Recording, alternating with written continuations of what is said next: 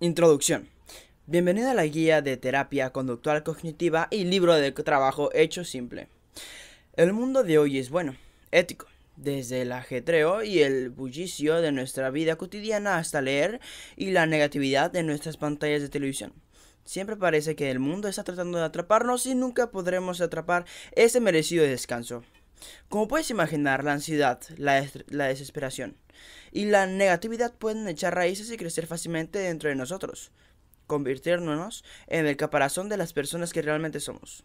La vida tiene una forma de deprimirnos, pero el valor de nuestra vida radica en la forma en que derrotamos esos pensamientos y acciones negativas. Sacamos el máximo provecho de lo que nos proporciona y vivimos nuestras vidas al máximo. Sé lo que estás pensando. es más fácil decirlo que hacerlo. Detener, no cierres este libro todavía. Si estás buscando métodos para fortalecer tu armadura contra la oscuridad en la vida, has venido al lugar adecuado para estar preparado para la batalla contra la negatividad. Estoy seguro de que has escuchado varias veces tener una mentalidad pasiva puede cambiar drásticamente el curso de la vida. Sin embargo, cuando las cosas se ponen difíciles puede ser difícil ver la luz en situaciones difíciles y saber qué acciones tomar para aprovechar al máximo las cartas que se reparten. La negatividad se nos lanza a diario ya sea un cliente grosero, un jefe malo o cosas terribles que suceden en nuestras relaciones. La vida cotidiana puede ser un lastre. ¿Alguna vez has oído de la abreviatura CBT? Es sinónimo de terapia conductual cognitiva. Ciertamente no te culpo por encogerte ante la palabra terapia, créeme. Yo también, sin embargo, la TCC es una terapia totalmente diferente, ya que se centra en ajustar nuestra mente para aprender a ver las cosas y experimentar en la vida de manera diferente. La TCC es un método de psicoterapia que enfatiza el papel que desempeñan nuestras mentes en cómo nos sentimos y actuamos. Los capítulos de este libro serán te enseñará qué es la terapia cognitiva conductual y cómo funciona, quién se beneficiará mejor al aprender acerca de esta forma de terapia. Formas de identificar áreas de tu vida que generan negatividad. Muchos métodos únicos que ayudarán a mejorar su vida a largo plazo. Gracias de nuevo por acompañarme en este viaje a una vida mejor y más positiva.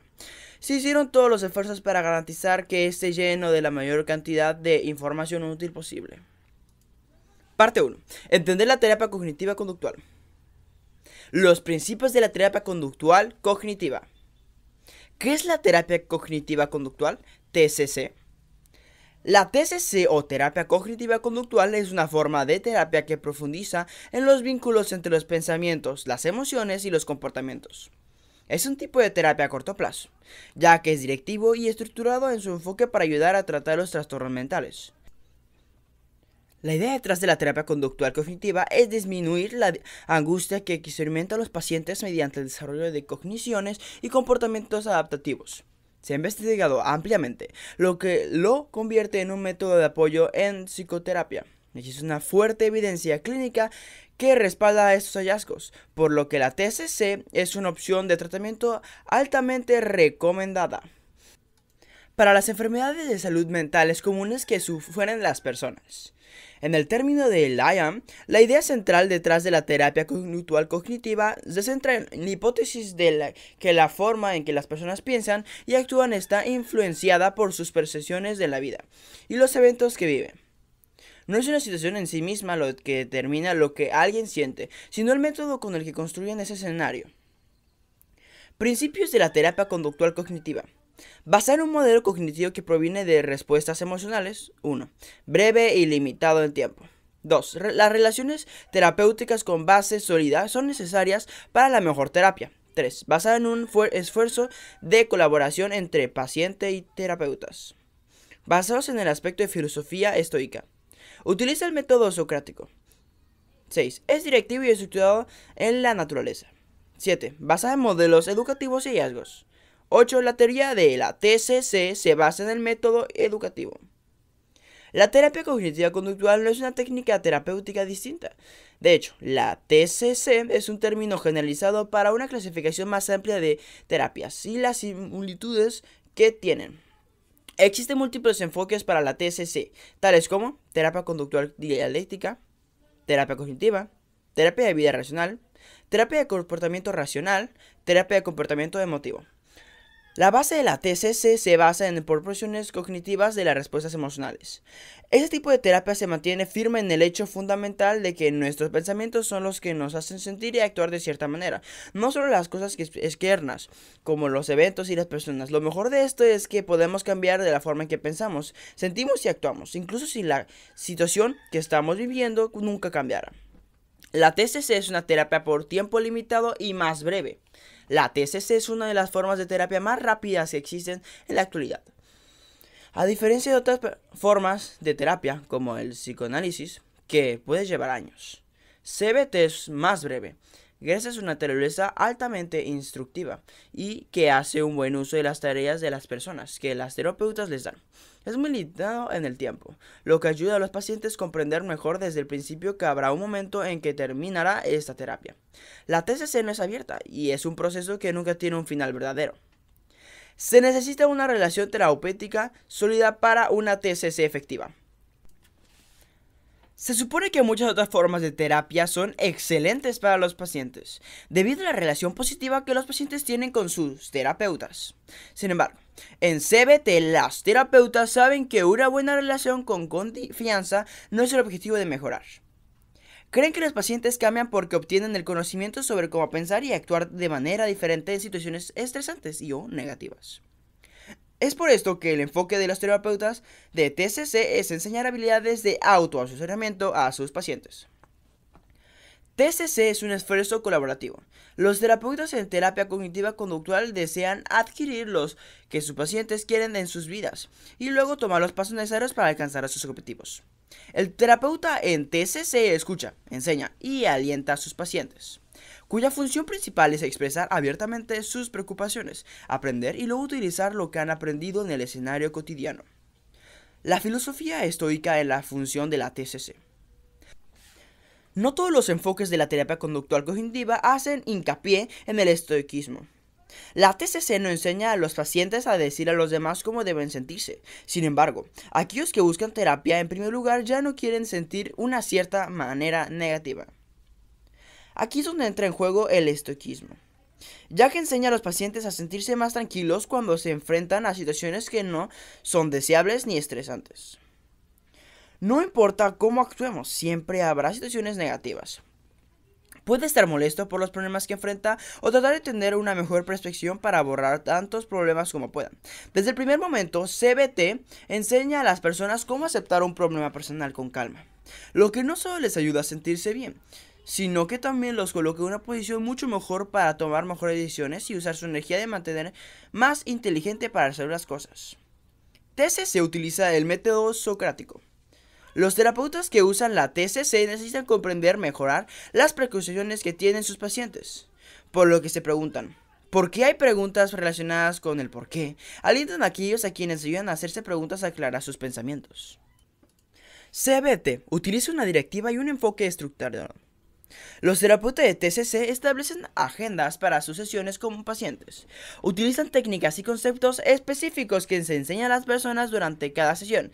La TCC es un método que se enfoca principalmente en los objetivos del paciente. Los terapeutas nunca le dicen a la gente cuáles deberían ser sus metas y qué deberían ser capaces de tolerar. Usan un sentido directivo para mostrarles cómo pensar y actuar, de manera que obtengan mejor lo que desean. Nunca le dicen a la gente qué hacer, sino cómo hacerlo. CBT va a ser un modelo educativo. CBT es, afortunadamente, uno de los mejores métodos terapéuticos gracias al hecho de que está respaldado por la ciencia y las relaciones emocionales y comportamiento que se estudian. El objetivo de la TCC es ayudar a los pacientes a desaprender reacciones no deseadas y aprender formas nuevas y positivas de actuar.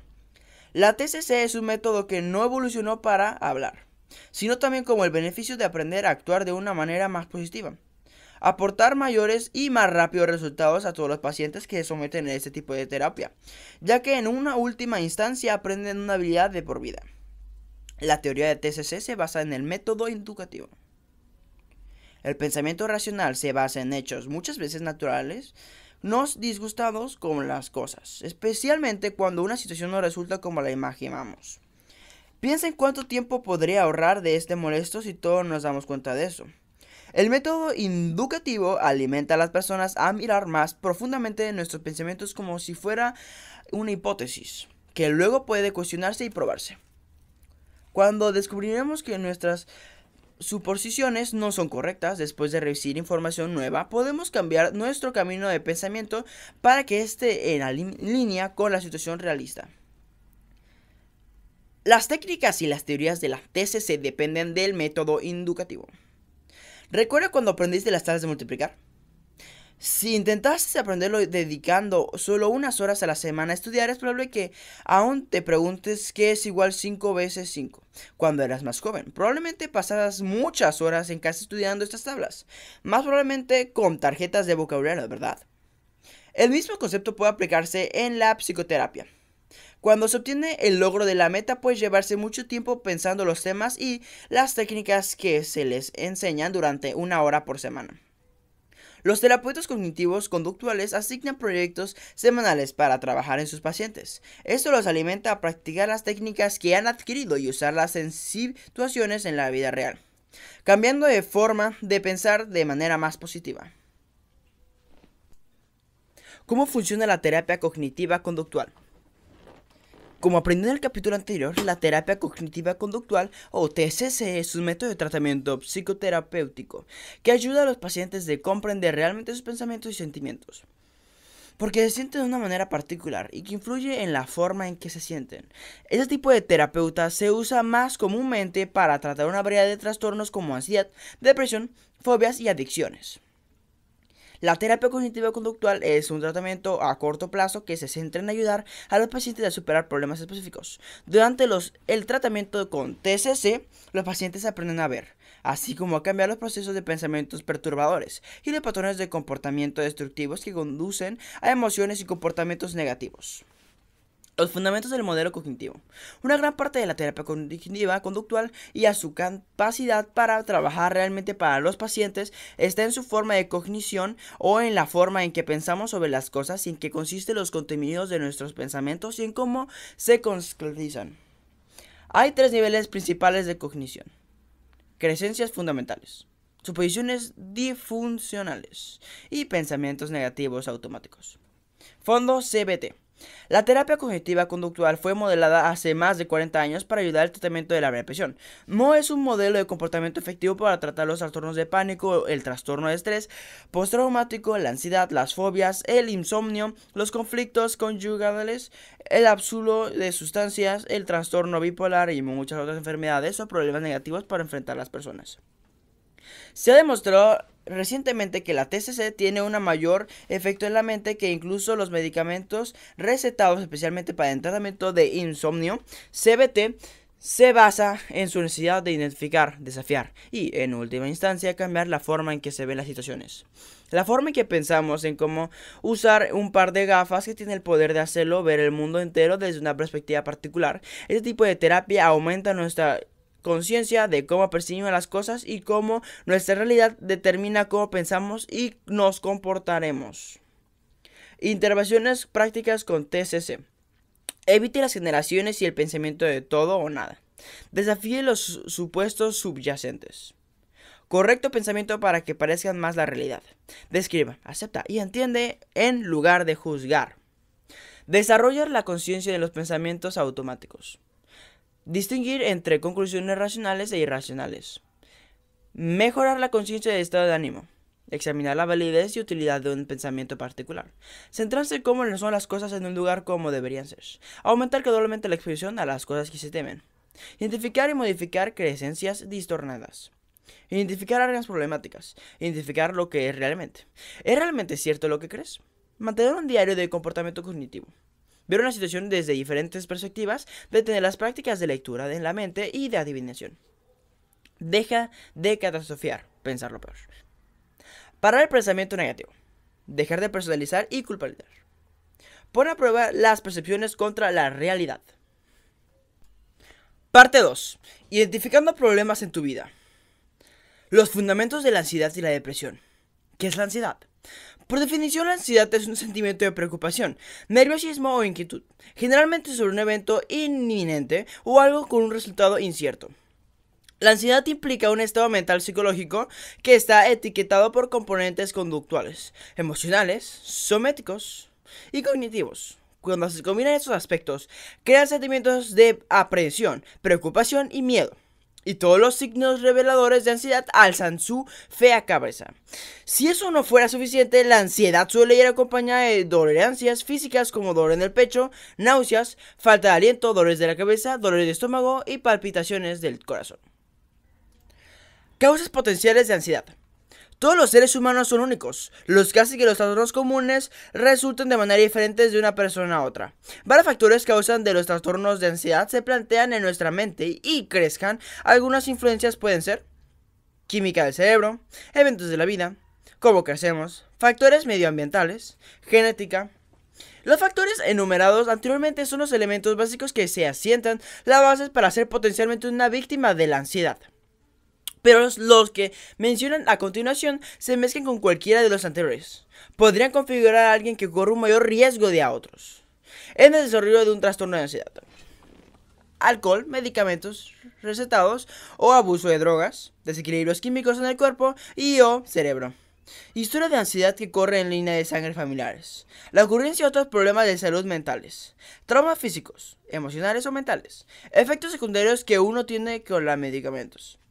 3 que dura mucho tiempo. Los sentimientos y pensamientos que crea la ansiedad puede hacer que cualquiera se sienta solo. Irónicamente, la ansiedad y todo el equipaje que nos acompaña es una de las enfermedades mentales más comunes en el Estados Unidos. Con más de 40 millones de adultos estadounidenses que viven con uno de esos trastornos todos los días. Cuando trata de vivir con un trastorno de ansiedad, debe reconocerse que síntomas le preocupan y encontrar formas de aliviarlos. Esto es mucho más fácil decirlo que hacerlo. Algunas personas nunca saben realmente qué provoca su ansiedad, mientras cosas pueden identificar ciertas cosas y evitarlas a toda costa. Los desencadenamientos pueden ser casi cualquier cosa y están alimentados por eventos específicos que sucedieron en el pasado o desencadenan por una combinación de diferentes cosas. Algunos tipos de disparadores se activan por enfermedad, malestar físico mencional, relacionados y o amistades, este relación con la escuela, situaciones estresantes, manera en que procesas las cosas que suceden en tu vida, estrés laboral. Desencadenantes comunes de ansiedad de los que no somos muy conscientes. El arquetreo y el bullicio de la vida cotidiana. La vida siempre está ocupada y parece que nunca hay tiempo para frenar. El hecho inevitable que solo estamos envejeciendo. Manejando específicamente en autopistas con muchos autos o cruzando puentes. No está a la altura de las expectativas que nos propusimos. La sucesión de incertidumbre. Ambulancia, bomberos o sirenas policiales. Ese es en el trabajo no tener un buen desempeño, no tener suficiencia tiempo durante el día de trabajo para hacer las cosas, etcétera. El tiempo hecho de pensar de lo que nos desencadena nuestra ansiedad puede ser causa de ansiedad en sí misma. ¿Qué es la depresión? La depresión es una enfermedad que afecta a la forma en que nos sentimos, pensamos y actuamos de manera negativa. Nos hace experimentar periodos de tristeza. A medida que perdemos interés de las cosas que amamos, la depresión es la base de que muchas otras variaciones de problemas físicos y emocionales también pueden disminuir aún más las capacidades de nuestra persona para funcionar en su vida cotidiana. La depresión a menudo se confunde con la tristeza y la pérdida natural que sentimos después de ser un querido fallece. Perdemos un trabajo o enfrentaremos dificultades en una relación. Si bien estas, personas pueden estar deprimidas durante un cierto tiempo, eventualmente desaparecen y pueden volver al funcionamiento normal. Factores de riesgo de depresión. La depresión tiene la capacidad de afectar a cualquier persona, incluso a aquellos que pueden vivir en circunstancias casi ideales. Varios factores clave pueden desempeñar funcionalidades vitales en el inicio de la depresión, como factores ambientales, la personal incluso pueden desempeñar un papel especialmente en aquellos con baja autoestima. La genética causa la depresión en un árbol genealógico. La bioquímica hace que las sustancias químicas en el cerebro se desequilibren. Ansiedad versus depresión. La ansiedad y la depresión son dos condiciones médicas que difieren mucho entre sí. Sin embargo, sus causas, síntomas y cómo se tratan a menudo se suponen. A pesar de que estas dos enfermedades mentales se discuten con frecuencia, muchas personas aún no tienen eh, que entender realmente sus diferencias. Muchos de los que sufren de depresión también experimentan periodos frecuentes de angustia ansiosa, junto con estados de ánimo más bajos. Esto lleva a sentirse inquieto, tenso y, y tener problemas para concentrarse en las actividades de la vida cotidiana. Recuperar el control de tu vida. ¿Cómo establecer metas prácticas y significativas? La importancia de los objetivos de desarrollo. Comienza con el fin en mente. Stephen Covey. Las metas desempeñan un papel clave para ayudarnos a avanzar en nuestras vidas. Son esencialmente el oxígeno que respiran nuestros sueños y aspiraciones. Son los pasos iniciales de la aventura que tomamos, así como el último en los caminos hacia el éxito. Es vital darse cuenta realmente de la importancia que tienen los objetivos establecidos en toda nuestra vida. Establecer metas es crucial porque cualquier planificación que realice para prepararse y prepararse para el éxito del futuro es una meta desde la planificación de nuestras tareas hasta el desarrollo de un plan de jubilación y todo lo que está en el medio. Las pequeñas tareas que hacemos todos los días nos ayudan a prepararnos para un futuro mejor. Nos proporciona un enfoque ¿Crees que podrías disparar una, flecha sin un objetivo para golpear? Si no hubiera ningún lugar para apuntar, entonces solo estarías apuntando a un objetivo aleatorio para atacar. ¿Por qué elegirías apuntar al azar y cuál sería el propósito detrás de esto? Exactamente. El ejemplo de arco y flecha es una analogía literalmente de cómo será la vida sin la esencia de objetivos. Incluso existiría el potencial y la unidad. Sin enfoque, su talento y habilidades son inútiles. La luz del sol no puede quemar una lupa sin enfoque. Y lo mismo ocurre con usted. Nunca podrá lograr nada a menos de que te concentres en tus esfuerzos. Al final del día, sus metas son las que les proporcionan una dirección a tu vida.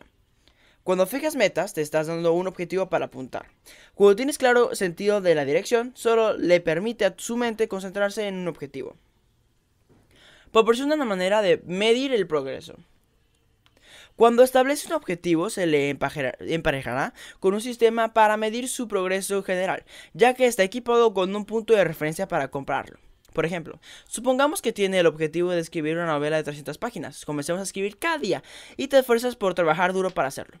Luego, pierde la pista de cuántas páginas ha escrito y cuántas más debe escribir para alcanzar su cuota. En lugar de enloquecer, simplemente puede contar las páginas que ha hecho, determinar el progreso y averiguar cuánto necesita escribir evita que nos distraigamos. Cuando establece metas también se proporciona límites mentales. Cuando hay un punto final en mente es mejor evitar las distracciones y concentrarse en el resultado. Esto ocurre automáticamente, no importa quién o, o qué te encuentre a lo largo del camino que estés recorriendo para llegar a tu objetivo. Siempre permanece encerrado y perspicaz. Date motivación los objetivos son la raíz de la inspiración y la motivación. Son los bloques de la construcción para la base de su unidad personal, para completar cosas de la vida. Cuando se hace el objetivo, se crea un punto final para apuntar y emocionarse. La proporciona la única idea de lograrlo. Las metas son herramientas que le dan energía para enfocar una dirección positiva y se moldea fácilmente para adaptar a sus prioridades cuando cambian. Te da las riendas de tu vida. La mayoría de la sociedad del mundo de hoy son sonámbulos a lo largo de la vida, incluso si están trabajando duro. Cuando no logras establecer metas, estás pasando tu vida subiendo y bajando infinitamente sin lograr nada. Simplemente estás cumpliendo los objetivos de los demás, no, tú, no tus objetivos. Establecer metas más centradas en tus deseos lo ayuda a romper el piloto automático en el que muchos de nosotros estamos y realmente empezaremos a vivir conscientemente. No dejes de que otros te informen de qué hacer. Esta es tu vida, la que deberías encararte de manera proactiva. Las metas te ayudan a, pensar por ti mismo y luego pasar y obtener lo que quieres. Nos da los mejores resultados. Todas las personas más exitosas del mundo se fijan metas claras y concisas, desde atletas hasta profesionales de negocios, artistas y todos los intermediarios. Cuando está establecido objetivos, pensar en el futuro es la clave para crear un plan viable, incluso cuando las cosas no van de acuerdo a ese plan. Todo lo que hacen se crea dos veces. Una vez que es en la mente, luego en el mundo físico. La creación mental ocurre cuando se fijan metas y sucede en el mundo real, cuando se trabaja arduamente y se suda para hacer realidad esa meta. Nos hace tener enfoque láser. Cuando los propósitos de su vida tienen un buen sentido de la dirección, sus metas tienen el poder de proporcionarle el enfoque que necesita para saber exactamente cómo debe gastar su energía y tiempo. Esta energía es la entrada que se necesita para crear cualquier tipo de salida. Cuando tiene una meta, puede hacer un punto focal que puede colocar su energía para ser utilizada y obtener una recompensa máxima. Remodelando tu actividad para una mentalidad positiva. Como has aprendido hasta ahora, tener una actividad negativa hacia la vida nos impide ser felices y afecta a aquellos con los que interactuamos a diario. La ciencia tiene pruebas más que eficientes para demostrar cómo ser positivo afecta a sus niveles de felicidad y términos de éxito. Esta es la razón por la que hacer de la positividad un hábito, con la ayuda de un pequeño cambio, puede ayudarlo a cambiar drásticamente su vida general y la mentalidad que tiene hacia el mundo. La vida que estás viviendo en un reflejo directamente de tu actitud general puede ser bastante fácil, casi demasiado fácil, ser cínico en el mundo y verlo como un desastre de injusticia y tragedia, especialmente gracias a los medios de comunicación en los que todos pasamos muchas horas al día. Una de mis citas favoritas a todos los tiempos viene directamente del rey del pop, Michael Jackson. Si quieres hacer del mundo un lugar mejor, échate un vistazo y haz un cambio. Como humanos somos criaturas de, la costumbre. En este capítulo delinearemos cambios pequeños que significativos que se pueden hacer para formar hábitos positivos que pueden cambiar drásticamente la mentalidad general de su vida. Sonreír. Cuando se nos pregunta en qué estaremos pensando la mayor parte del tiempo, la respuesta más honesta probablemente tendría que ser nosotros mismos, ¿verdad? Es natural. Así que no, no te sientes culpable. Es bueno hacernos responsables y responsabilizarnos de, nuestro, de nosotros mismos. Sin embargo, quiero desafiarme a que te apartes por lo menos un momento por día, por día y hacer que otra persona sonría. Piensa en hacer feliz a otras personas y en el sentimiento cálido que recibes cuando recibes la felicidad. Señalar soluciones, no problemas. Abrazar la posibilidad no significa tener que evitar los problemas, sino aprender a reconstruir la forma en que nos critican aquellos que son positivos, crean críticas con la idea de mejorar algo. Nota la subida, no solo la caída. Muchos de nosotros somos negativos solo por el simple hecho que nos preocupamos demasiado por el odio y la violencia de nuestros medios de comunicación diarios. Sin embargo, lo que no notamos son aquellos que se están levantando, mostrando compasión y dando amor a los que demás. Esas son historias en las que deberías enquillirte. Cuando eres capaz de encontrar héroes modernos en la vida cotidiana, naturalmente te sientes más esperanzado, incluso en tiempos difíciles. Solo respira. Nuestras emociones están conectadas en la forma en que respiramos. Piensa en un momento en, qué contuvo la respiración cuando estaba en, en, una concentración profunda o cuando está molesto o ansioso. Nuestra respiración depende de cómo nos sentimos, lo que significa que también tiene el poder de cambiar nuestras emociones. No te dejes arrastrar por la negatividad de los demás. Estoy seguro de que has ido a trabajar alegre y emocionado para enfrentarte al día siguiente, pero luego tu compañero de trabajo arruina tu estado de ánimo, despreocupado y el tuyo, con sus quejas sobre todo, desde el clima hasta otros empleados a su fin de semana etc. Es natural encontrarse de acuerdo con otros dicen, especialmente si quieres evitar el conflicto. Sin embargo, inicialmente te estás permitiendo ahogarte en su propio grupo de emociones negativas. Intercambiar, tener con obtener. Estoy seguro de que a menudo no se dan cuenta cuántas veces nos decimos que tenemos que ir y hacer algo. Tengo que ir a trabajar, tengo que ir a la tienda, tengo que pagar el alquiler, tengo que cortar el césped. Te dan la imagen, sin embargo, observar lo que sucede cuando intercambias la palabra que tiene con la palabra get. Tengo que ir a trabajar, tengo que ir a la tienda, tengo que pagar el alquiler, tengo que cortar el césped. ¿Ves el cambio drástico de actitud ahí? ¿Ves la necesidad de, de, cumplir con esas obligaciones? Hasta estar agradecido de tener esas cosas que hacer en tu vida. Eso significa, tienes un trabajo para ir. Tienes suficiente dinero para mantener a sí mismo y a su familia para proporcionar una comida saludable. Tienes un techo sobre tu cabeza. Tienes un patio lindo. Cuando hagas este simple cambio comenzarás a sentirte el cambio de la felicidad acurrucándote a media que la fría manta del estrés desaparece. Describe tu vida con palabras positivas. La elección del vocabulario que usas tiene mucho más poder sobre nuestras vidas de lo que creemos. La forma en que discute tu vida es esencial para aprovechar la positividad, ya que su mente oye lo que escupe en voz alta. Cuando describe su vida como aburrida, ocupada, caótica y o mundana, así como continuará percibiéndola y afectará directamente su salud mental y física. En cambio, si escribe su vida como involucrada, animada, familiar, simple, etc., comenzará a ver los cambios en su perspectiva general y encontrará más alegría en las formas que eligiera moldear toda su vida. Retoques. Deje de imaginarse que su vida está dispersa con signos de un callejón sin salida y vea que todas sus fallas como oportunidades para redirigir. Hay pocas o ninguna cosa en la vida sobre todo lo que tenemos el control del 100%. Cuando dejas que las experiencias incontrolables se apoderen de tu vida, literalmente te convertirás en papilla. Lo que puede controlar en la cantidad de esfuerzo que pones en las cosas sin una onza de arrepentimiento de hacerlas. Escribe un diario de gratitud. Es probable que haya días en los que una sola situación puede descarrillar todo el día, ya sea una interacción que no sea tan placentera o algo que sucede en la noche anterior. Nuestra mente se aferrará a estos pensamientos negativos del día. Estoy seguro de que has leído en varios sitios acerca de cómo es beneficiario mantener un diario de gratitud. Si eres como yo, pensé que esto era una tontería total, hasta que empecé a hacerlo. Me desafié a notar al menos 5 cosas por las que estaba realmente agradecido todos los días. Científicamente expresar, gratitud está vinculado con la felicidad y reducir el estrés. Te reto a comenzar a notar cosas que usted apariencia y estar agradecido por cada día. Incluso en los días terribles hay algo que beneficiar convertirse en tu propio héroe de la positividad.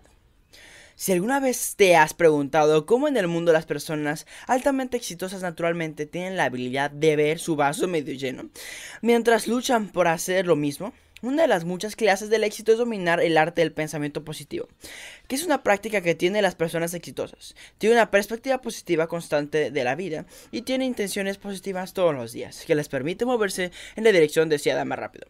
Entonces, ¿cómo lo hacen? En este capítulo discutiremos las prácticas que ayudan a las personas positivas a mantenerse optimistas, lo cual ayuda a su éxito en general. Práctica diaria. Lo creas o no, aquellas que tienen más éxito realmente tienen el valor de cuidarse en sí mismos. Saben del impacto que tienen en sus vidas y el trabajo que producen ejecutarse en la tierra. Esto significa que estas personas son diligentes para hacer lo que los hace verdaderamente felices y hace todo lo posible para asegurarse que no se extiendan demasiado. Tome este consejo y comience a convertirlo en un hábito diario que hacer para cosas con usted y para aumentar su éxito en la vida. Ya sea inscriba en una clase o vaya al gimnasio a hacer tiempo para usted mismo le permite reiniciar y estar más motivado y productivo. Absorber material inspirador. Las personas positivas han aprendido a evitar la energía negativa y no tienen tolerancia con ella. Muchas personas a menudo comparan las cosas oscuras y tristes con ser negativos, lo que es un concepto erróneo. Algunas experiencias oscuras y trágicas pueden ser hermosas en cierto modo. Sin embargo, tiene el poder de decidir qué cosas oscuras permiten su vida, ver que las personas son golpeadas en la televisión, escuchar a los políticos divagando una y otra vez. Dar cumplidos. Estoy seguro de que ha, tenido conversaciones en su vida en las que se alejó y tuvo el deseo de hacer crecer estas relaciones. Otros aspectos positivos de las personas exitosas es aprender el arte de los cumplidos y cómo realizar el baile complementario. Rodeate de personas positivas. La verdad es que las personas negativas engendran pesimismo, mientras que las personas positivas obviamente crean optimismo. Mientras más personas positivas te rodean, más motivado estarás para dar los pasos necesarios para cumplir tus objetivos y tener éxito. Ver los fracasos como una lección, no un error. Las personas exitosas han aprendido a cambiar su mentalidad completa cuando ocurren cosas malas en sus vidas. Desde pequeños errores hasta fracasos sustanciales, han aprendido las cuales necesarias para recuperarlos desde empolvarlos y ver esas experiencias como un trampolín para mejorar en el futuro. Juega con avidez el juego de apreciación. Como lo mencioné anteriormente, el aprecio y la gratitud son vitales para mantener el positivismo en tu vida. A lo largo de la, vida, sea consciente y busque activamente cosas que aprecie. Mientras camina por su vecindario, dígase a sí mismo: Aprecio el kill de O estoy agradecido por la conversación increíble que tuve con mi amigo por teléfono. Puede parecer extraño al principio, pero una vez que lo conviertas en un hábito, verás que ser activamente apreciado general, generará más aprecio, lo que alimenta el pensamiento positivo.